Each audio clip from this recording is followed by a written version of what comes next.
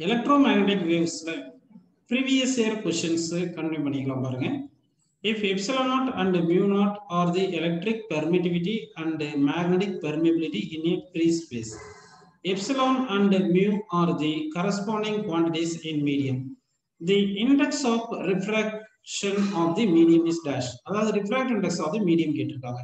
So refractive இண்டெக்ஸுக்கு நமக்கு என்ன ஃபார்முலா தெரியும் பார்த்தீங்கன்னா ஃபர்ஸ்ட் ஃபார்ம் வந்து ரிஃப்ராக்டிவ் இண்டெக்ஸ் ஏன்னா இங்க மியூ வந்து இங்க பர்மியபிலிட்டி அப்படின்னு கொடுத்துட்டாங்க அதனால நம்ம ரிஃப்ராக்டிவ் இண்டெக்ஸ் வந்து என்னன்னு எடுத்துக்கலாம். N is equal to speed of light in vacuum divide by speed of light in medium இந்த ஃபார்முலா தெரியும் நமக்கு.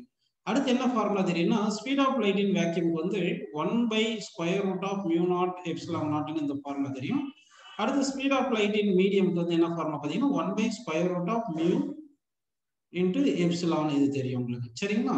இப்போ இந்த ஈக்குவேஷன் ஒன் இந்த ஈக்குவேஷன் டூ இந்த ரெண்டு ஈக்குவேஷன் டிவைட் பண்ணீங்கன்னா நமக்கு என்ன கிடைக்கும் பாருங்க? Equation one divide by equation two அப்போ வந்து சி பை வின்னு கிடைச்சிருதா தட் இஸ் ஈக்குவல் டு இந்த ரைட் சைடில் இருக்கிறது இன்வெர்ஸ் இன்வெர்ஸ் ரேஷியோ வந்துடும் அப்போ என்ன வருது பாருங்க? Mu into epsilon divide by mu naught into epsilon naught அப்படின்னு கிடைச்சிருக்கும். ஸோ இதுதான் நம்ம என்ன சொல்லிடுறோம்னா refract index so refract index is equal to square root of mu into epsilon naught divide by mu naught epsilon naught so that இந்த கொஸ்டினுக்கு answer வந்து second option கரெக்டான answer அப்படின்னு எடுத்துக்கிறோம்ப்பா நெக்ஸ்ட் கொஸ்டின் பாருங்க the frequency of electromagnetic wave which best suited to observe a particle of radius 3 into 10 power minus 4 centimeter is is of the order of அப்படின்னு கேட்டிருக்காங்க அப்படின்னா எந்த இந்த இங்க பாருங்க விச் ஃப்ரீக்வன்சி அதாவது எந்த frequency of electro magnetic wave வந்து is to observe the particle of radius இதுன்னு கேட்டிருக்காங்க. ஆக்சுவலா வந்து டைஃப்ராக்ஷன் ஃபினாமினன் இதெல்லாம் தெரியும் இல்லைங்களா? அதுல வந்து பாத்தீங்கன்னா வேவ் லெக்த்தும் சைஸ் ஆஃப் தி பார்ட்டிகளும் ஆல்மோஸ்ட் ஈக்குவலா இருந்துச்சுன்னா அந்த டைஃப்ராக்ஷன் நடக்கும் அப்படின்னு நம்ம படிச்சிருக்கோம். ஓகே அப்படின்னா நம்ம என்ன எடுத்துக்கலாம்னா அந்த வேவ்லென்த்தோட சைஸ் வந்து இந்த ரேடியஸ் உடைய சைஸுக்கு அப்ராக்சிமேட்லி ஈக்குவலா இருக்குன்னு எடுத்துங்க அப்போ வேவ் என்ன வரும் சொல்லுங்க? Three into ten power minus four centimetre தானே கொடுத்துருக்காங்க. மீட்டரா மாத்திரத்துக்கு ten power minus two multiply பண்ணிடலாம். ஸோ அப்போ வேவ் லென்த் இஸ் ஈக்குவல் என்ன வருது? Three into ten power minus six metre அப்படின்னு கிடைச்சிருக்கு. இப்போ வந்து நமக்கு ஃப்ரீக்வன்சி என்ன ஃபார்முலா பார்த்தீங்கன்னா speed of light is equal to frequency into wavelength தானப்பா ஸோ அப்போ ஃப்ரீக்வன்சிக்கு என்ன ஃபார்முலா வருது? Frequency is equal to speed of the wave divide by wavelength அப்படின்னு போட்டுக்கலாம் அப்போ speed of the wave speed of the வேவ்க்கு என்ன வருது பாருங்க? த்ரீ இன்ட்டு டென் பவர் எயிட்னு கிடைச்சிருது. கரெக்டுங்களா டிவைட் பை இந்த வேவ் லென்த் வந்து இந்த order of three into ten power minus சிக்ஸ்னு கிடைச்சிருக்கு. இப்போ இந்த த்ரீ த்ரீ கேன்சல் பண்ணிடலாம். இந்த டென் பவர் மைனஸ் சிக்ஸ் மேலே போனால் என்ன போகிறோம் டென் பவர் பிளஸ் சிக்ஸ்னு வருது. கரெக்டுங்களா அப்படின்னா ten power eight plus ten power six என்ன வரும் சொல்லுங்க? டென் பவர் ஃபோர்டீன் வருமா? ஸோ அப்போ வந்து ஆன்சர் வந்து நமக்கு என்ன வருது பார்த்தீங்கன்னா இந்த order of ten power six அப்படின்னு டென் பவர் ஃபோர்டீன் அப்படின்னு நம்ம எடுத்துக்கலாம். கரெக்டுங்களா ஸோ அப்போ எந்த ஆப்ஷன் கரெக்ட் பாருங்க. செகண்ட் ஆப்ஷன் வந்து கரெக்டான ஆன்சர் அப்படின்னு நம்ம எடுத்துக்கலாம்ப்பா நெக்ஸ்ட் போயிடலாம் பாருப்பா. நெக்ஸ்ட் கொஸ்டின் போயிடலாமா? Okay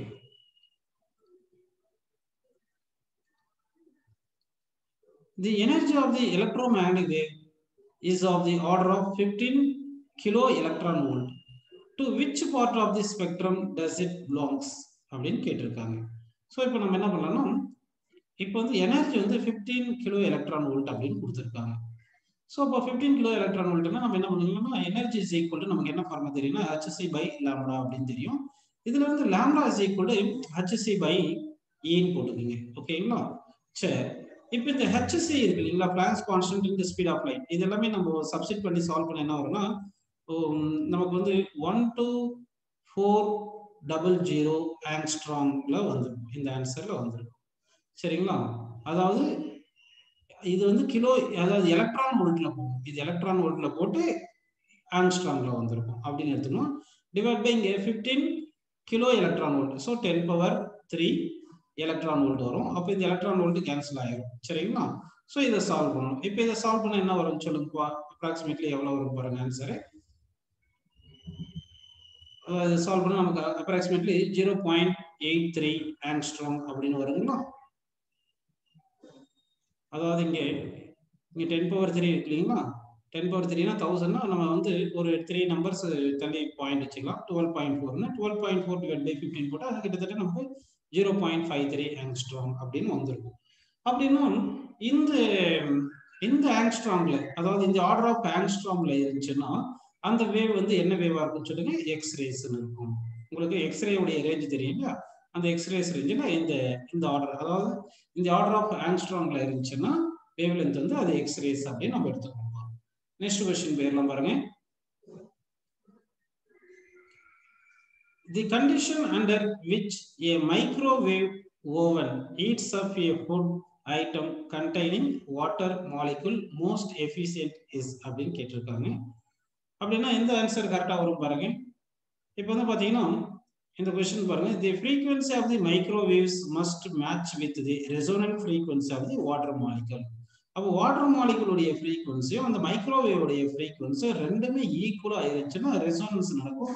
ரெசோனன்ஸ் நடக்கும்போது கிரேட்டர் ஆம்பிளிடியூட்ல வைப்ரேட் ஆகும். அப்போ வந்து எனர்ஜி ப்ரொடியூசர் வந்து directly proportional square of the amplitude இருக்கும். ஆம்பிளிடியூட் அதிகமாக இருக்குன்னா ரெசோனன்ஸ் கண்டிஷன்ல தான் இருக்கும். அதனால இந்த கொஸ்டினுக்கு நம்ம ஆப்ஷன் சி கரெக்ட்னு எடுத்துக்கலாம்ப்பா. நெக்ஸ்ட் கொஸ்டின் பாருங்க. The decreasing order of wavelength of infrared microwave ultraviolet and gamma rays dash அப்படின்னு கேட்டிருக்காங்க. அதாவது இப்போ நமக்கு என்னென்ன கொடுத்துருக்காங்க சொல்லுங்க? நமக்கு ஆல்ரெடி தெரியும். காமா ரே எக்ஸ்ரே அதாவது இப்படி இப்படி எழுதும்போது இன்க்ரீசிங் ஆர்டர் ஆஃப் வேவ்லென்த் எழுதுது எக்ஸ்ரே கரெக்டுங்களா அல்ட்ரா வயலட் இப்படின்னு எழுதுவோம். அல்ட்ரா வயலட் அடுத்து விசிபிள் அடுத்து இன்ஃப்ராரெட் அடுத்து மைக்ரோவேவ் நெக்ஸ்ட் வந்து ரேடியோ வேவ் அப்படின்னு நம்ம எழுதியிருக்கோம் கரெக்டுங்களா விசிபிள் இங்கே எழுதியிருக்கோம் இது ரேடியோ வேவ்னு எழுதியிருக்கோம் இப்போ வந்து டிக்ரீசிங் கேட்குறாங்க என்ன கேட்டிருக்காங்க? Decreasing order of wave length பார்த்தீங்கன்னா டிக்ரீசிங் ஆர்டர்ல வரும்போது ஸோ ஃபர்ஸ்ட் சொன்னது இன்ஃப்ராரெட் இருக்கு. அடுத்து மைக்ரோவேவ் மைக்ரோவேவ் மைக்ரோவேவ் இங்க இருக்குங்களா? அடுத்து அல்ட்ரா வயலட் அடுத்து காமாரை அல்ட்ரா வயலட் காமாரை அப்படி தானப்பா இருக்கு? ஸோ அப்போ வந்து என்ன வரணும் சொல்லுங்க? டிக்ரீசிங் ஆர்டர்ல வரும்போது ஃபர்ஸ்ட் மைக்ரோவேவ் வரணும். அடுத்து இன்ஃப்ராரெட் வரணும். அடுத்து அல்ட்ரா வயலட் வரணும். அடுத்து காமாரை வரணும். ஸோ இந்த மாதிரி இருக்கிற ஆப்ஷன் எந்த ஆப்ஷன் பாருங்கப்பா? ஃபர்ஸ்ட் ஆப்ஷன் வந்து கரெக்ட்னு எடுத்துக்கலாம். ஓகேங்களா அடுத்த கொஸ்டின் பேர்லாம் பாருங்க. If lambda v lambda x and lambda m represent the wavelength of visible light x-ray and microwave respectively அப்படின்னு கேட்டிருக்காங்க. இப்போ இருக்கிறதுல எக்ஸ்ரே தான் வேவ் லென்த் வந்து கம்மியா இருக்கும். அப்படி தானே அடுத்து வந்து எந்த வேவுக்குன்னா மைக்ரோவேவ் இதுல வந்து மைக்ரோவேவுக்கு வேவ் லென்த் அதிகமா இருக்கும். அப்போ மைக்ரோவேவ் லென்த் அதிகமாக இருக்கணும் எக்ஸ்ரேக்கு கம்மியாக இருக்கணும். ஸோ அந்த மாதிரி இருக்கிற ஆப்ஷன் எதுன்னு பாருங்க. ஆப்ஷன் பி கரெக்ட் மைக்ரோ மைக்ரோவேவுக்கு கிரேட்டராக இருக்கும் வேவ் லென்த் அடுத்து விசிபிள் லைட் அடுத்து அடுத்து வந்து வர்றது எக்ஸ்ரே அப்படின்னு எடுத்துக்கலாமா? ஸோ இந்த கொஸ்டினுக்கு ஆன்சர் பார்த்தீங்கன்னா microwave length wave length of the microwave greater than wave length of visible light greater than wave length of X ray அப்படின்னு நம்ம இந்த ஆப்ஷன் பி கரெக்ட்னு எடுத்துக்கலாமா? நெக்ஸ்ட் கொஸ்டின் பாருங்க. We consider the radiation emitted by the human body which one of the following statement is true? ஆக்சுவலா வந்து human பாடியில் வந்து ஹீட் ரேடியேட் ஆகுறது என்ன பாத்தீங்கன்னா வந்து அதாவது ரேடியேட் ஆகிற வேவ் வந்து ஹீட் ரேடியேஷனாக இருக்கும். ஹீட் ரேடியேஷன் எந்த எந்த ஸ்பெக்ட்ரம்ல இருக்குன்னா இன்ஃப்ராரெட் ரீஜன்ல தான் இருக்கும். சரிங்களா? அப்படின்னா வந்து the radiation emitted is in the infrared region அப்படின்னு வரலாம். அப்போ ஹியூமன் பாடியில இருந்து ஹீட் ரேடியேஷன் வர்றது வந்து இன்ஃப்ராரெட் ரேடியேஷன்ல இருக்கும் அப்படின்னு twenty seventh question first option கரெக்ட்னு எடுத்துக்கலாம். நெக்ஸ்ட் கொஸ்டின் பாருங்க. Which of the following rays are not electromagnetic wave இதில் எது எலக்ட்ரோ மேக்னடிக் வேவ் கிடையாதுன்னா எக்ஸ்ரே வந்து எலக்ட்ரோ மேக்னடிக் வேவ் காமா ரேவும் electromagnetic wave heat rays வந்து இன்ஃப்ராரெட் வேவ் அப்போ X ray gamma ray heat ray வந்து infrared ray இந்த rays எல்லாமே வந்து என்ன சொல்லுங்கன்னா எலக்ட்ரோ மேக்னடிக் ரேஸ் பீட்டா ரேன்றது என்ன பார்த்தீங்கன்னா beta ray consist of beta minus ray இருக்கு பீட்டா பிளஸ் ரேன்னு இருக்கு. ஜென்ரலா பீட்டா ரேனா மைனஸ் பீட்டா மைனஸ் ரேன்னு சொல்லிடலாம். அதாவது பாசிட்டிவ் மூவிங் எலக்ட்ரான் வந்து பீம்ல இருக்கும். அதுதான் வந்து பீட்டா ரேஸ் எடுத்துக்கணும் அப்போ பீட்டா ரேஸ்ல வந்து எலக்ட்ரான்ஸ் மூவ் ஆகுறது தான் பீட்டா ரேஸ்ன்னு சொல்லிடுறோம். அப்போ எலக்ட்ரான் மூவ் ஆச்சுன்னா அது வந்து என்ன சொல்லிடலாம் அது? எலக்ட்ரோ மேக்னெட்டிக் வேவ் கிடையாது அப்படின்னு சொல்லிடலாம். ஓகேங்களா அதனால வந்து பீட்டா ரேஸ் தான் வந்து எலக்ட்ரோ மேக்னெட்டிக் வேவ் கிடையாது அப்படின்னு நம்ம எடுத்துக்கோம் நெக்ஸ்ட் கொஸ்டின் பாருங்க. What is the cause of green house effect green house effect என்ன காசுன்னு பார்த்தீங்கன்னா இந்த ஹீட் ரிலேட்டட் டு ஹீட் தான் இருக்கும். அப்படிதானப்பா அப்போ? வந்து கிரீன் ஹவுஸ் எஃபெக்ட் வந்து ரிலேட்டட் டு இன்ஃப்ராரெட் ரேஸ் அப்படின்னு நம்ம எடுத்துக்கணும் ஸோ இந்த கொஸ்டினுக்கு ஆன்சர் வந்து infrared rays is correct answer next question பாருங்க. பயாலஜிக்கல் இம்பார்ட்டன்ஸ் ஆஃப் ஜோ ஓசோன் லேயர் இஸ் அப்படின்னு கேட்டிருக்காங்க. ஓசோன் லேயர் என்ன பண்ணும்? அதாவது சன்ல இருந்து வர அல்ட்ரா வயலட் ரேஸை ஸ்டாப் பண்ணிடும் அப்படி தானப்போ அப்படின்னா it stops ultra violet rays அப்படின்னு நம்ம எடுத்துப்போம். ஸோ இந்த கொஸ்டினுக்கு ஆன்சர் வந்து தேர்ட்டியத்து கொஸ்டினுக்கு ஆன்சர் என்ன வரும் பார்த்தீங்கன்னா ஃபர்ஸ்ட் ஆப்ஷன் வந்து கரெக்ட் நெக்ஸ்ட் கொஸ்டின் பாருங்க. The frequency order of gamma rays X rays ultraviolet rays அப்படின்னு கேட்டிருக்காங்க. அதாவது நம்ம decreasing order of wave length எடுத்தோம்னா that is increasing order of frequency wave லென்த்தும் frequency inversely ப்ரொபோஷனலாக இருக்கும். அப்போ frequency is equal to C by lambda தெரியும். Lambda குறைஞ்சுன்னா ஃப்ரீக்வன்சி வந்து கூடிடும் அப்படின்னு நம்ம எடுத்துக்கணும். ஓகேங்களா ஓகேப்பா அப்போ வந்து இப்போ இருக்கிறதுலே ஃப்ரீக்வன்சி எதுக்கு அதிகம்னு சொல்லுங்க? ஃப்ரீக்வன்சி வந்து காமா ரேக்கு தான் இருக்கிறதுலே அதிகமாக இருக்கும்.